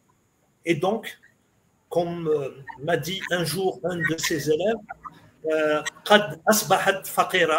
elles étaient devenues, comment dirais-je, euh, euh, elles sont devenues donc pauvres, et, voilà. Et donc celle-là, elle, elle était affiliée à la tariqa tarhmanis, c'est-à-dire la zawiya de, euh, de Taros, qui se trouve à un kilomètre de Tijounen, pas loin de Takrit, et la seule Zawiya sur le territoire des Etourlis qui permet de, de, faire adhérer à la Rahmania. On dit euh, en kabyle, Mon grand-père, euh, Amaro Issa, était un adepte de euh, la Rahmania et Yur al à Sheikh Mohammed qui était à l'époque le muqaddam de cette zawiya. Yur al ça veut dire Yur al ça veut dire qu'il il est rentré dans la confrérie. Il y a une cérémonie. Il y a une cérémonie. Et voilà. Et donc, il faut aussi faire la différence entre ceux, euh, les, les, les Juan. Les Juan ne sont pas des marabouts, n'est-ce pas? Ce sont euh, des, comment dirais-je? Ce sont des Juan, ce sont des adeptes. Voilà, ce sont des adeptes d'un ordre. Et ils avaient bien sûr, euh, euh, c'était des soufis. C'est ça, exactement. Euh, alors oui, alors Sidi Moussa dans toute cette histoire. donc Sidi Moussa donc est un, comment dirais-je, est un alim qui arrive à, à Tinebdar, qui s'installe à Tinebdar au 14, 15e siècle. Et à sa mort, donc, ils l'ont enterré là-bas. C'est pour ça qu'il y a le mausolée. Hmm et euh, qu'on l'appelle Sidi, Sidi Moussa, parce que euh, il est devenu un wali. Il, crée cette euh, école qui va devenir la plus importante des écoles. à un moment donné, dans les années, à la fin du 19e siècle, il y avait dans cette institution plus de 60 calvas Alors, vous savez, l'école, le, parcours, ces, institutions avaient des projets pédagogiques. Ils avaient des projets pédagogiques et la Zawiya de Sidi Moussa était à tel point célèbre que même les enfants des dignitaires des grandes villes, comme Béjaïa ou bien Constantine, venaient faire leurs études dans ces euh, institutions. Dans la vallée de la Souba, il y a tout un ensemble de zawiyat de premier plan qui sont aujourd'hui très très célèbres. Je vous ai parlé tout à l'heure de celle de Tamokra, qui se trouve donc à, euh, donc à 37 km d'Akbou, mais pas loin d'Akbou, toujours à Shlata, il y a la, la Zawiya Shlaté, qui est euh, l'une des plus euh, célèbres de toute l'Afrique septentrionale, qui était à l'époque euh, administrée par les Ben Ali Shrif. Il y a la Zawiya de Teslent. Teslent donc, est un village de la commune d'Iram. On l'appelle la Zawiya Ubou Daoud, qui, elle également, a été très célèbre vous savez que l'un des élèves qui a eu un diplôme là-bas s'appelle Cheikh Qassimi et qui va par la suite aller à El Hamel, à Boussaada, créer une zawiya qui est aujourd'hui considérée comme étant la plus importante d'Algérie. Son muqaddam, actuellement, Cheikh Qassimi, est l'actuel mufti de la grande mosquée d'Alger, celle de Bouteflika. Et il a, il a le rang de ministre aujourd'hui. Euh, il y a la Zawiya donc, euh, de Qasem à Boujlil, qui, elle, était spécialisée en qira'at, c'est-à-dire les lectures coraniques. Celle de Shalati était spécialisée en astronomie. Et euh, le, le, savant du XVIIIe siècle a écrit un livre d'astronomie très célèbre qui s'appelle Ma'alim al-Istibsar. Voilà. Donc, vous voyez quel est le niveau. Mais euh, en tous les cas, euh, on, va, on va revenir à Sidi Moussa, mais tout ce que vous dites là euh, met en évidence la prépondérance de la religion dans les villages kabyles. Alors qu'on a tendance à dire que les Kabyles ne sont pas très religieux, alors que là, voilà, il y a beaucoup de, beaucoup de etc. Alors, euh, si vous permettez, euh, on va poursuivre avec Sidi Moussa et on va, on va projeter quelques, quelques photos et quelques images. Et si vous pouviez euh, bah, les commenter, ce serait super. Alors, première photo, c'est donc l'entrée, donc Zaouia, oui. Moussa. Voilà. voilà. Euh, alors, au passage, je remercie Wahiba de m'avoir envoyé toutes ces photos. Ensuite, euh, j'ai, euh, on a ça. On a le, je crois que c'est le tombeau de. C'est le mausolée. C'est le mausolée, voilà. Ah, c'est le, mausolée, donc c'est la tombe de Sidi Moussa. Voilà. Donc c'est là qu'il est, c'est là qu'il est, qu'il est, enterré. Et qu'est-ce que vous pouvez nous dire par rapport à, à ça? Je ne sais pas. Est-ce que alors tous ces tissus, ils servent à quoi? Qu'est-ce qu'il y a autour? Qu'est-ce que c'est que ces écritures? Je crois que parce que moi je suis allée euh, cet été et je crois que là euh, c'est un poème qui a été écrit euh, pour honorer Sidi Moussa, je crois. Et est-ce que vous pouvez nous dire quelle est la fonction de ces tissus? J'ai toujours, j'ai pas toujours compris pourquoi tout le monde. Bon, c'est des offrandes, mais pourquoi des tissus? Qu'est-ce qu'on en fait d'ailleurs? Euh, je, ne peux pas vous euh, donner de réponse, mais si vous voulez, je ne peux pas vous donner de réponse, mais si vous voulez tous les mausolées, vous, allez en Turquie, en Tunisie, euh, partout, vous avez la tombe et vous avez au-dessus des tissus comme ça, qui sont liés aux pratiques, les pratiques donc des, euh, vous savez que les femmes donc viennent pour euh, se recueillir, euh, pour faire des offrandes, pour voilà. La aussi. Beaucoup de ruqya. non, écoutez, il faut pas, il faut pas parler comme ça de ces, Ah il, il, faut d'abord, il faut faire la différence entre Zawiya et Zawiya, n'est-ce pas? Alors, il, il y a beaucoup de Zawiya dans plusieurs régions du pays où il y a des pratiques, euh, euh, j'allais dire, extra-religieuses, etc. Les zaouïas de la Kabylie, en général, sont des euh, zaouïas qui sont épargnés par ce, genre d'institution. Il y a bien sûr toujours les, croyances, n'est-ce pas? Il y a les croyances, il y a les gens qui vont visiter donc les, les euh, ils ont des, des, vœux à faire, ils, ils, espèrent quelque chose, ils font des wahdas, n'est-ce pas? Mais euh, il n'y a pas des pratiques qui existent dans certaines euh, zaouïas dans d'autres régions où il y a là-bas tout un. En, tous les cas, concernant Sidi Moussa, je l'ai vu de mes propres yeux.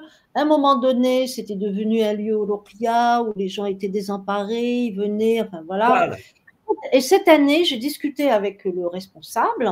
Et je lui ai dit, vous faites toujours. peut-être le, le de la. Je, n'ai pas de mais et il m'a dit, on a arrêté. Voilà, donc ils ont arrêté. Alors, on va poursuivre avec les photos. Euh, ensuite, euh, oui. Alors, est-ce que vous pouvez, je ne sais pas, alors c'est des jarres que j'ai vus, euh, je crois voilà, qu'elles sont, voilà. Elles sont pour, pour comment dirais-je, emmagasiner l'huile, le, blé, etc. Mais elles, elles, sont très très anciennes, il me semble. Oui, et c'est justement dans cette pièce, hein, puisque vous montrez, euh, restez sur cette photo. Oui, oui, oui. Sur cette, c'est dans cette euh, pièce que a... été, j'allais dire, a été récoltée la, la, légende de Sidi Moussa, euh, cette légende, elle, a, bon, elle est connue de tous les habitants, de, bien sûr, de Tinebda et des, autres régions. Alors, je voulais vous dire que la Zawiya de Sidi Moussa n'est pas administrée uniquement par les gens de Tinebda. Hein. Il y a d'autres régions des Etourlis qui. Euh, il y a d'autres régions euh, de, des qui sont concernées par cette Zawiya. C'est le cas, par exemple, d'Elfly ou bien de, de c'est le, cas également pour la Zawiya de Sidi al-Hajj Hussein Asma'oun, qui, elle, est également euh, concerne, les, les, les gens d'Elfly, une partie donc de la population d'Elfly est concernée par cette euh, Zawiya. Alors, concernant cette, euh, cette pièce, il y a dans cette pièce, il y a un, un comment dirais-je, il y avait un, euh, un fourneau un fourneau où on faisait euh, le repas des élèves. Oui. Les. Donc les, les, prenaient leur euh, repas ici, on préparait donc le couscous, et euh, à un moment donné, Sidi Moussa a ordonné à quelques-uns des tolbas d'enlever les cendres du fourneau. Et ces tolbas, ils ont refusé. Alors il a demandé à un petit tolba de le faire et il a accepté. Il a accepté. Et euh, au moment donc euh, où il terminait, il a trouvé une pièce d'argent dans les centres. Il l'a montré aux autres, euh, aux autres Et le lendemain, pour nettoyer le fourneau, tous les euh, se sont disputés pour pouvoir faire ce travail. Et Sidi Moussa euh, les, a, les a chassés en leur disant que il, les a chassés en leur disant que vous, vous êtes cupides, c'est le, le, la patte du qui vous motive. Et il leur a dit, eh ben, à partir de maintenant, personne n'aura plus à s'inquiéter de cette besogne les cendres disparaîtront d'elles-mêmes. Et depuis ah, cette époque, on n'a plus vu de cendres dans le fourneau de la sans que personne ne les touche. Elles étaient transportées à plus de 2 km de Tinebdar, où elles ont formé cette grosse masse gypseuse qu'on appelle le rocher de plate. Alors, quand vous allez à Sidiaïch, euh, en venant de Béjaïa, là où il y a l'actuelle décharge de Sidiaïch, que personne ne peut ne pas voir, il y a en face ce que tous les euh, jeunes, tous les garçons de Sidiaïch connaissent, qu'on appelle le rocher du plâtre. On l'appelait à l'époque euh, Gargantua, la, tête du lion. On allait jouer là-bas. Voilà. Et voilà ce que dit la légende de, de Sidi Moussa, qui est reportée dans le livre euh, que j'ai édité avec Judith Schill, la monographie de la commune mixte de Public. Merci. Euh, alors, je vais euh, afficher une photo. je ne sais pas si elle, a un lien. Est-ce qu'elle a un lien? Non, pas du tout, avec Moussa. Oui, d'accord. Ok, très bien. Donc, bah, écoutez, je vous laisse. Alors, ça, ce que vous voyez ici, c'est la Khizana, c'est-à-dire la bibliothèque euh, de manuscrits de Sheikh Al-Qadhi. Sheikh Al-Qadhi Sidouqi, qui euh, est un des cheikhs de la Zawiya de Sidi Moussa. C'est un élève de Sheikh Ahdad. Et donc, à la fin du 19e siècle et au début du 20e siècle, il a été en poste à Sidi Moussa pendant 14 ans. Il va, pendant 14 ans, il va conduire 14 promotions à ce qu'on appelle Khatma Sidi Khalil. Sidi c'est c'est ce qu'on a, nous on les appelle, on l'appelle Sidi Khalil en, Kabylie, mais euh, c'est un éminent savant égyptien qui a vécu au XIVe siècle et qui a écrit un, livre de jurisprudence de référence qui va être euh, un ouvrage de référence dans tout le Maghreb et notamment donc à Sidi Moussa. Donc il y avait un projet pédagogique à Sidi Moussa et euh, Cheikh Al-Qadir, on dit al il est un élève de Cheikh Ahdad, pendant 14 ans, il a enseigné à Sidi Moussa et il faisait partie euh, du groupe des savants, des, des, qui étaient euh, le mercredi au, marché de Sidi et qui euh, faisait les consultations juridiques. Merci. Alors, je vais juste afficher une image. Euh, voilà. Donc, ça, c'est le colloque que vous avez organisé, c'est ça? Oui, en 2004, le colloque international sur Abdelrahman Aoulis. Donc, euh, vous pouvez trouver, alors nos auditeurs, auditrices, vous pouvez trouver tout ça sur le site de GIMAB. Alors, on va poursuivre rapidement. On a vraiment dépassé le temps, mais c'est pas grave, c'est très intéressant. Euh, on va boucler avec le musée. Le musée. Euh, alors, moi, j'aurais bien voulu qu'on parle du statut aujourd'hui de Sidi Moussa, etc. Mais euh, peut-être un petit mot. Quel est son statut aujourd'hui Alors, ce que je voudrais dire. En fait. ce que je voudrais dire, parce qu'on ne peut pas parler de Sidi Moussa sans parler de, un, des, un des les plus importants donc, euh, qui est passé par Sidi Moussa s'appelle euh, Saïd Abehloul. Saïd Abehloul, euh, qui a été un élève donc, de Cheikh Al-Qadir et qui était en poste, il est mort en, 1945 et il a écrit deux livres. Il a écrit deux livres qui le premier donc s'intitule Rad ala al-Awam fi sab'a masail khilafiyya euh, et le deuxième s'intitule Din al-Nasiha.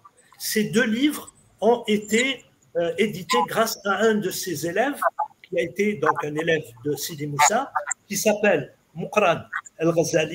Mukran al-Ghazali, c'est lui qui a comment dirais-je, qui lui a permis de, préparer l'édition. C'est mon grand-père qui était à l'époque euh, négociant et euh, industriel à Sidi qui était un ami intime de Saïd Behloul et de Cheikh euh, Mohamed de Zawiya de qui a financé l'édition de ces deux livres. Alors, il y avait un autre élève de Sidi Moussa qui s'appelle Cheikh Larbi euh, Sherif, qui est originaire de Touja, qui était euh, en poste à Sidi en 1931, et c'est lui qui va piloter la constitution à Sidi de la section des oulémas de la, euh, de, la comment dirais-je, de la de, d'Ibn Badis, de, de l'association des oulémas, l'année même de fondation de l'association en 1931. Donc vous voyez sur les, les, élèves et sur les chers de Sidi Moussa, on a des informations. il y avait également le, grand-père, euh, le, grand-père de, comment il s'appelle? De euh, Qassem, qui est aujourd'hui encore vivant et qui, euh, vous savez, qui reste maintenant là-bas à Sidi Moussa. Aujourd'hui, il n'y a plus beaucoup de talva, mais il y a Cheikh Nordin, qui est un excellent imam là-bas, et il y a Hajj al-Qassem, qui a été à un moment donné wakil, et euh, son arrière-grand-père, Cheikh Tayyib El-Wazlaji, a été un des imams de, de la Zawiya de Sidi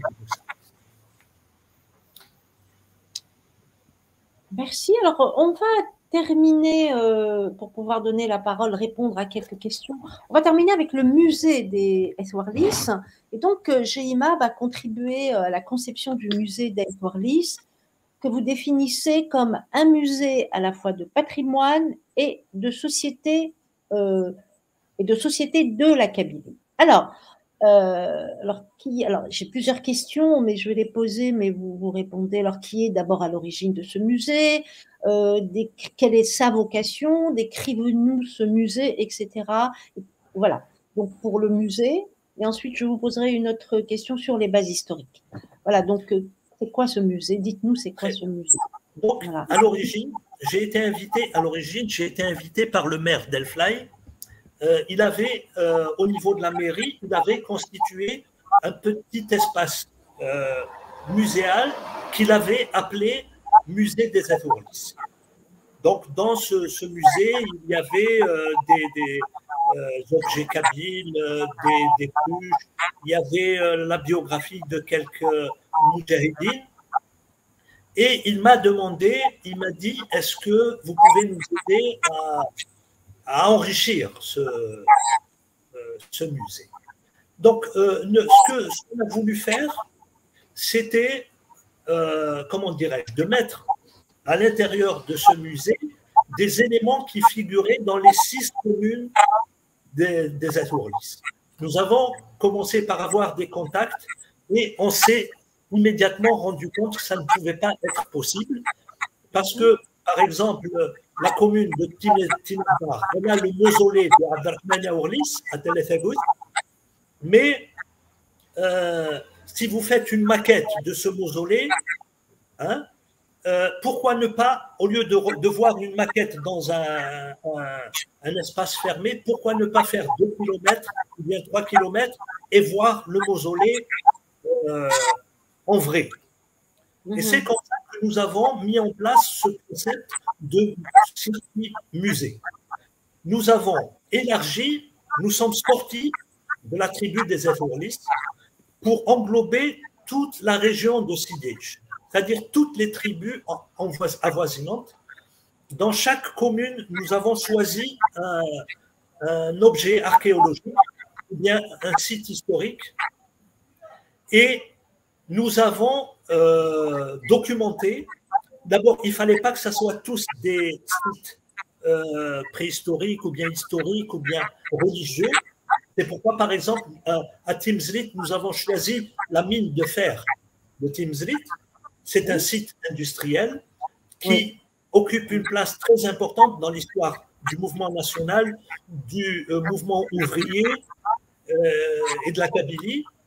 Et voilà, donc nous avons euh, choisi donc, 12 sites sur lesquels, d'abord, nous les avons documentés et nous avons réalisé, constitué des euh, dossiers de classement, de classement parmi les biens culturels de la wilaya de Béjaïa.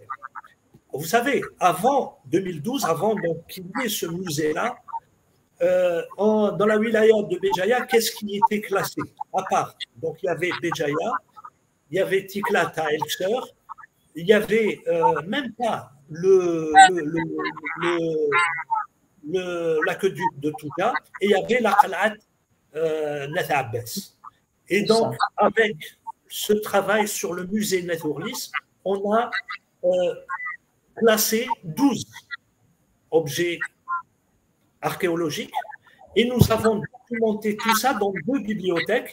L'une, c'était la maison de jeunes de Delfly, où jusqu'à présent, il y a l'exposition et la documentation.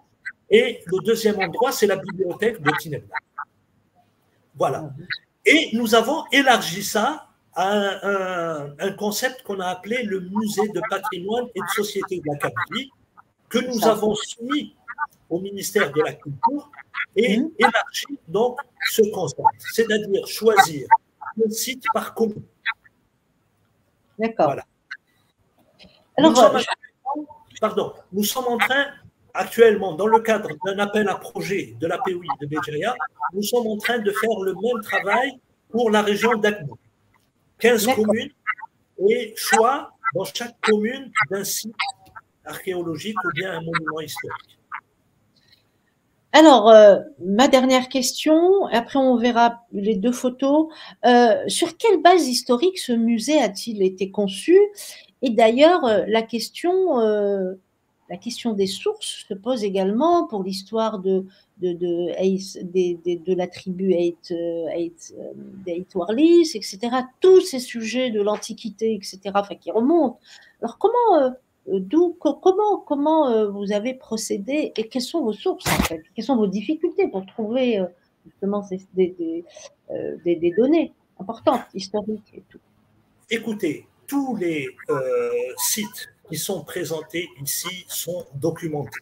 Vous avez par exemple la cheminée, la fameuse stèle d'Azara, euh, stèle libico-berbère, qui est très documentée. Euh, nous avons travaillé dessus avec les euh, archéologues Jean-Pierre Laporte, Hussein Germoun. Mm. Par exemple, pour ce qui est de, du mausolée Abdelrahman Ourlis, nous avons fait un colloque international où toutes les sommités mondiales étaient présentes. Euh, le, comment dirais-je, à Adjlil, dans euh, nous avons placé la maison de, euh, du sociologue euh, Abdelmalek Sayed. Euh, concernant ce sociologue, il y a en France des, des médiathèques et des, rues qui portent son nom. Et dans son village, il n'y avait aucune, euh, aucune trace. Et donc, nous avons classé avec l'APC de d'Edjbil, avec euh, le comité de village, nous avons fait un dossier de classement. C'est une très belle maison euh, traditionnelle kabyle, avec un koufir, avec un dainin, etc. Et il y a une deuxième partie moderne où jusqu'à présent, il y a le bureau de Abdelmek Sayed avec les documents euh, lorsqu'il était à l'école normale de Bouzelaire.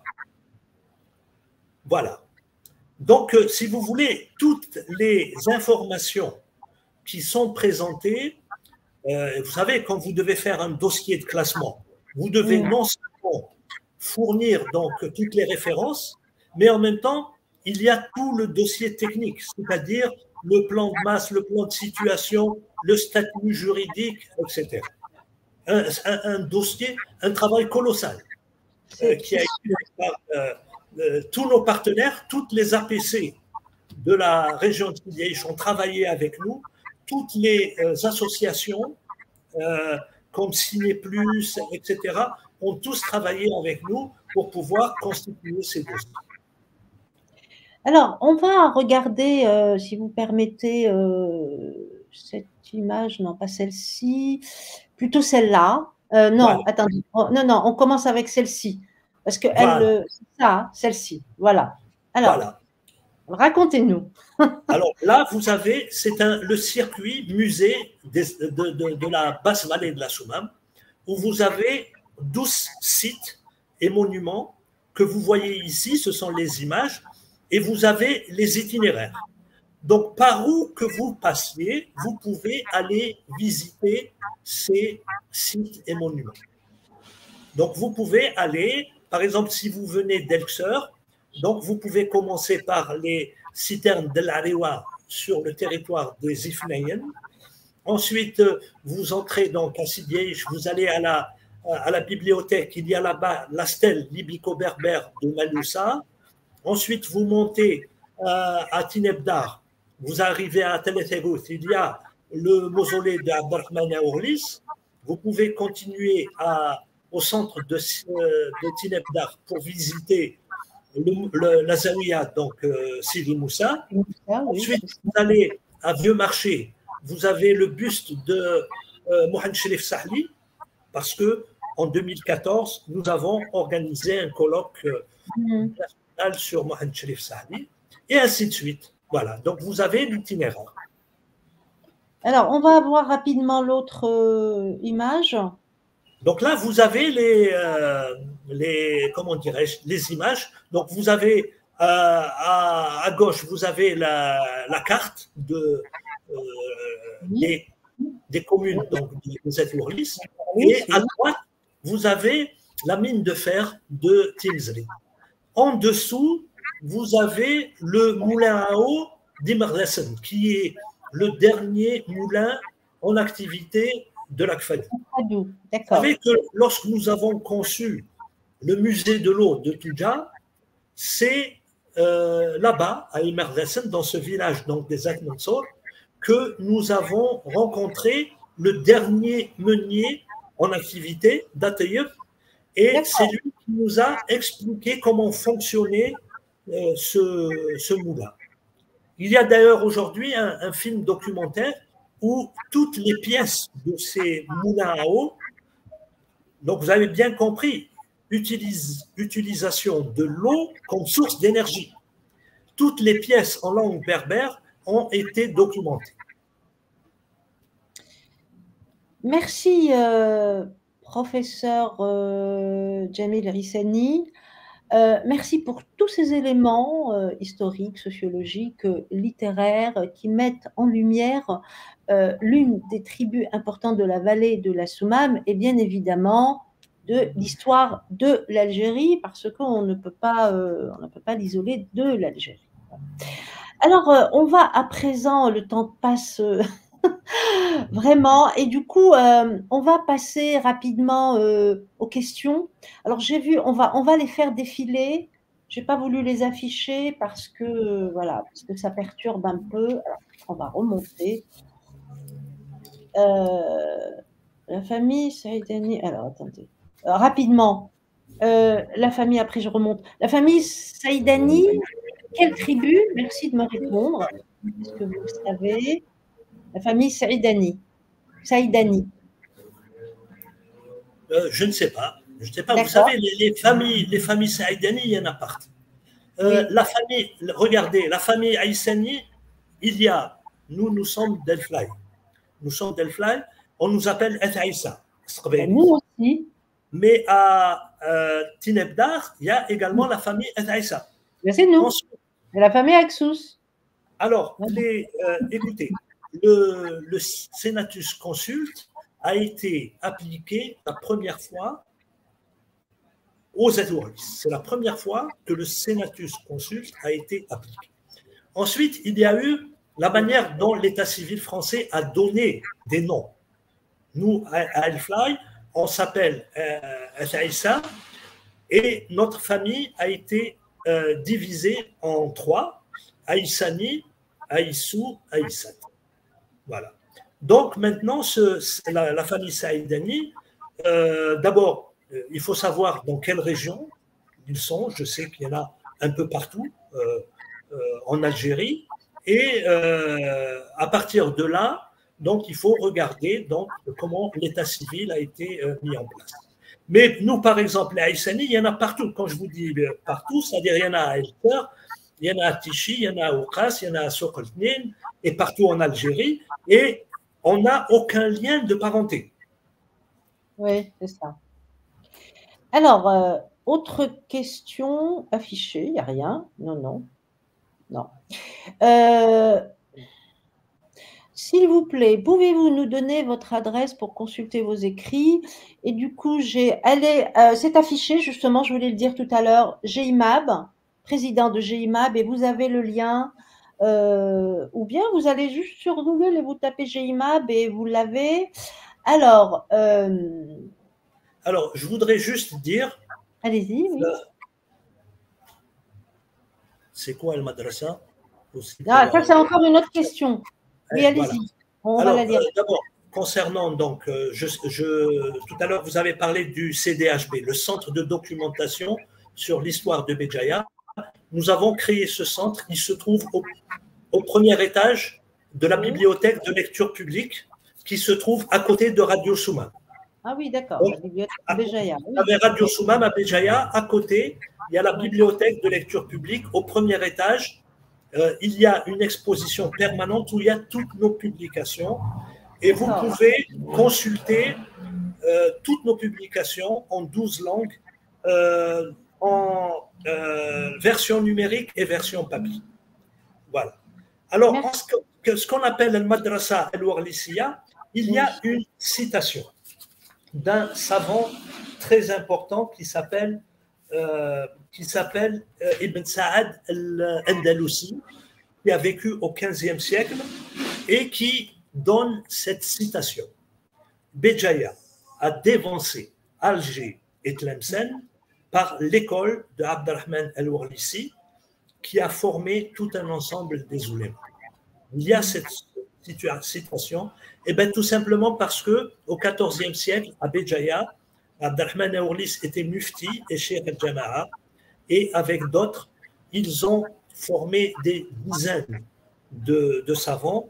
D'ailleurs, euh, l'un d'entre eux, qui s'appelle euh, Abdelrahman al-Ta'alibi, qui est l'actuel patron d'Alger, Sidi Abdelrahman al-Ta'alibi, euh, et qui dit qu'il arrive à Béjaïa en 1400, et donc il, il, a, il, a, a trouvé donc tous ces savants-là, parce que lui, quand il arrive à Béjaïa, euh, Sidi Abdelrahman euh, était déjà mort. Sidi Ahmed Ben également, ils étaient morts.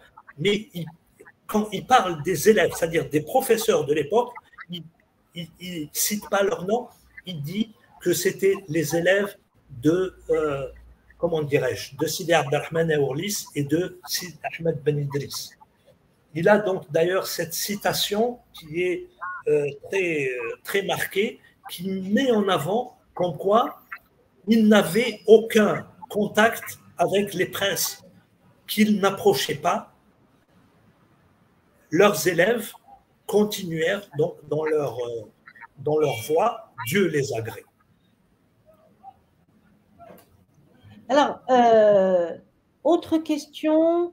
Donc, merci pour cette com. Pourriez-vous nous parler du mausolée de Sidi Ibrahim Waïssa au village d'Ilmethen, dans la, dans la commune de Cheminé Ilmethen, à Cheminé, ça existe? Euh, Je ne connais pas ce, mausolée. Vous savez, Ilmethen, c'est à, à Cheminé il y, a deux, oui, il y a, y a un village, Ilmethen, à Ashmin. Il y a Ilmethen euh, du côté de Fnaya, mais euh, du côté de Smaoun, il y a, euh, comment dirais-je? D'accord, ok. Ah, il, y a, il y a un village qui s'appelle Ilmethen. je suis allé là-bas en 2013 lorsque nous avons commémoré le 25e anniversaire de la mort du commandant Kassi. C'était nous qui avons fait la, la, la plaquette donc, de l'exposition. Et euh, vous savez, il y a des dizaines de mausolées euh, mmh. en Algérie, n'est-ce pas? Oui, Donc, nous, nous nous sommes intéressés uniquement euh, aux personnages pour lesquels il y avait des traces comme quoi ils avaient réalisé des travaux scientifiques. C'est ça, voilà. Donc là, je ne connais pas ce que Sidi Ibrahim alors, euh, Mourad, bonsoir tout le monde. Donc, il nous remercie. Et je voudrais interroger M. Aïssani, que je salue, au sujet de la version qui soutient une origine grecque de l'ancêtre Warlis. S'agit-il d'une légende ou bien la version repose-t-elle sur des faits historiques?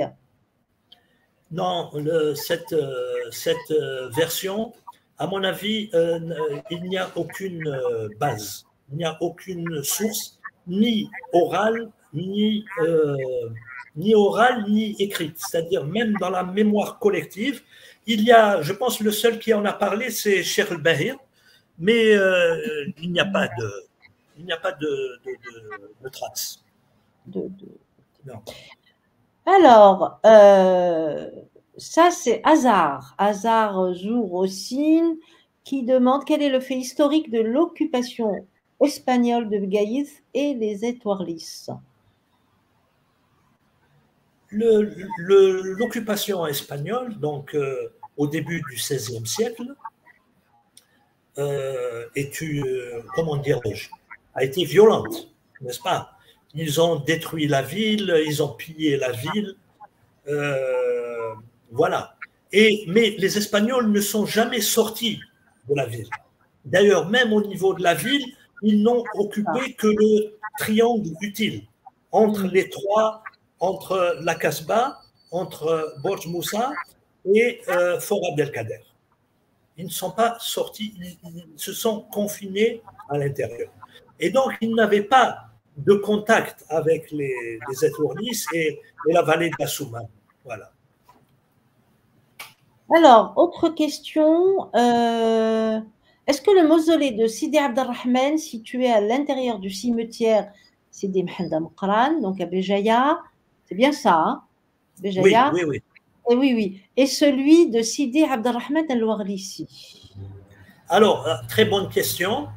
Euh, le mausolée de Sidi Abdelrahman al-Warlisi, c'est celui de Tel C'est celui-là.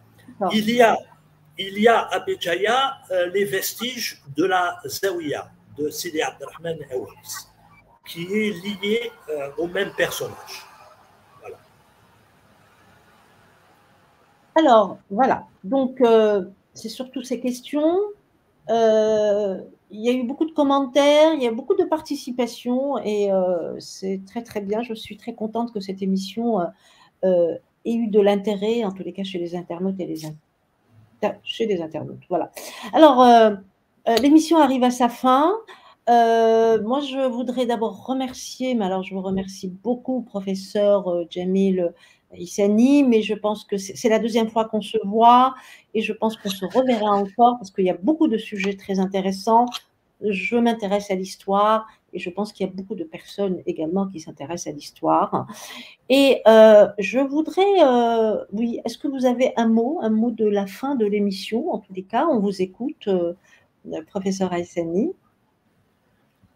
Oui, je voudrais dire que euh, pendant peut-être... Euh, bon, euh, je vous ai dit au début que je suis originaire des Étourlis, mais le travail, pourquoi est-ce que nous avons fait ce travail?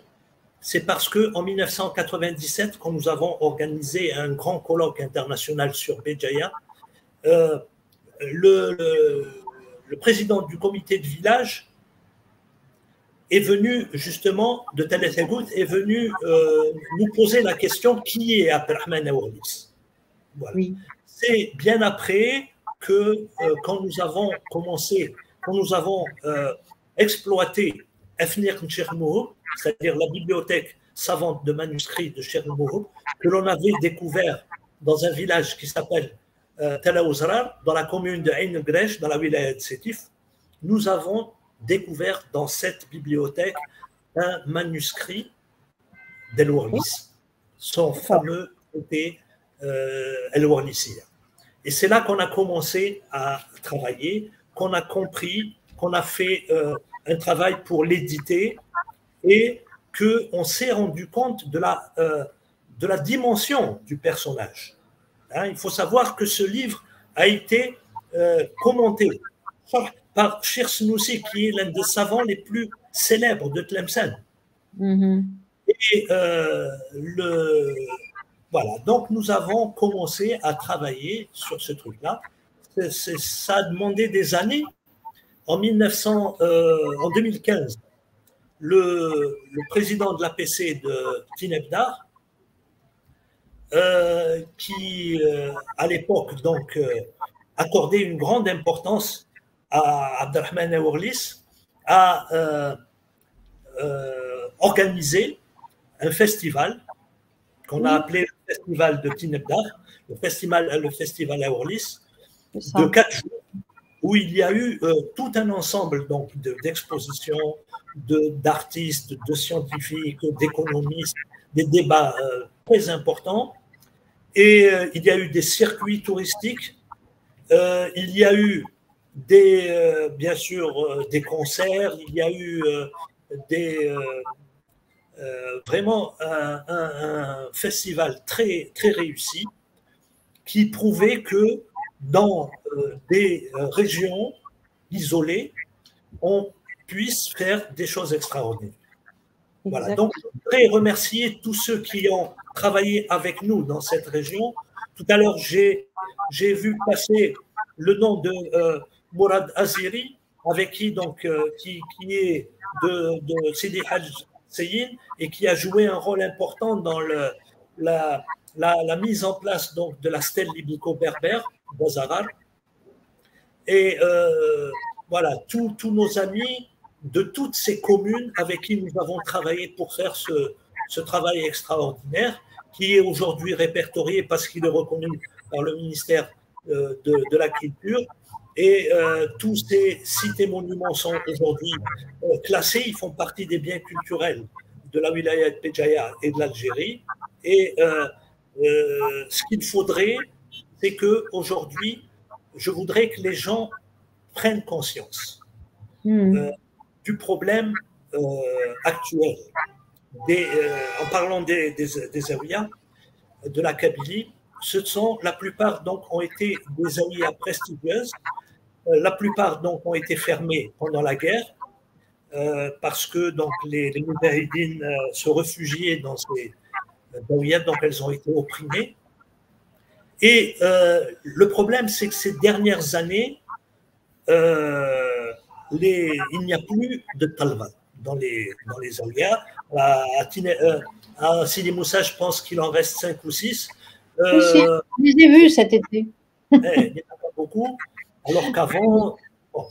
Et le problème, il est à quel niveau? C'est qu'aujourd'hui, la Kabylie, elle a un grand problème. Il n'y a plus de, de personnes capable de prendre en charge les euh, préoccupations quotidiennes de la population. C'est-à-dire que les imams aujourd'hui qui sont désignés pour, euh, euh, pour être en poste en, dans la région de par, exemple, ou ailleurs, ce sont des imams qui sont formés par l'université, c'est-à-dire l'université de, de Constantine, l'université islamique de Constantine, ou bien l'université Bouzalea, et ils n'ont pas euh, le, comment dirais-je, ils, n'ont pas conscience de ce qu'est les traditions de la, de la région. Locale. À ce qui se passait lorsque les, euh, comment dirais-je, les imams étaient formés par les zaouïas. Alors, on a fait une erreur de ne pas euh, standardiser les, les programmes pédagogiques. J'en avais parlé au ministre Roland Allah, qui était venu nous voir à un moment donné, il m'avait dit oui, mais vous savez, euh, au niveau des Aouïas, ce qui est important, c'est la liberté. Mais le problème, d'abord, c'est que on n'a pas modernisé les institutions. C'est-à-dire que quand vous faites venir des talvas, il faut leur donner les conditions. Je me souviens une fois, euh, je discutais avec Cheikh Bouaziz de Eiterzin, qui avait fait ses études à la Zawiya de, de, de il m'a dit, il m'a dit, Mskin, il m'a dit, Noloz. Noloz, on hmm. avait faim. On avait faim et un jour, il s'est sauvé. On ne pouvait plus. C'est terrible. Et donc aujourd'hui, nous n'avons pas modernisé ces institutions pour permettre aux, aux, d'avoir des conditions d'abord de, vie décente, avec un espace, euh, un espace correct, Hein, je me souviens la première fois que j'ai été à la Zawiya de Sidi Hajj Hassini. À l'époque, c'était mon ami euh, Cheikh euh, Wali Sibri, Ils avaient 40 talva. Et quand je suis parti voir le, dortoir, là où ils dormaient, les lits étaient côte à côte. Et il y avait un problème d'humidité. On ne peut plus former aujourd'hui des imams dans ce type de conditions. Et en plus, il faut des modernes il faut une documentation, il faut des, ordinateurs, il faut Internet, il faut. Euh, voilà. Et donc, malheureusement, aujourd'hui, les talvas ne viennent plus. Pourquoi? Parce que dans d'autres régions, là d'où venaient euh, ces talvas, euh, par exemple du côté de Sétif ou ailleurs, il y a là-bas des muhsinines qui ont créé des écoles coraniques là-bas avec de meilleures conditions de, de, vie et ils prennent en charge de manière correcte les professeurs et voilà. Merci beaucoup, euh, professeur euh, Jamil Haïsani. Euh, nous arrivons à la fin de l'émission. merci encore à notre invité pour. on a vraiment dépassé l'heure, bientôt deux heures, en tous les cas, très très intéressant. Merci à vous, chers internautes, d'avoir alimenté cette émission avec euh, vos commentaires, avec vos questions. Et euh, je vous dis euh, bonne soirée et à la prochaine émission. Allez, au revoir. Au revoir.